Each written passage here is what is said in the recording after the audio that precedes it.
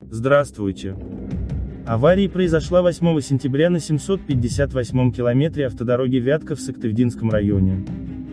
По предварительным данным, мужчина 1972 года рождения за рулем КАМАЗа с полуприцепом, не справился с управлением и наехал на стоящий у края проезжей части трактор МТЗ-80. Водитель сельхозтехники 1991 года рождения в этот момент садился за руль.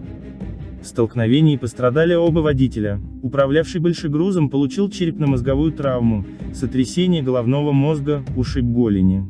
У тракториста, проникающий перелом свода черепа, открытая черепно-мозговая травма, ушиб головного мозга тяжелой степени, множественные ушибы головы и лица, травматический шок, его увезли в больницу.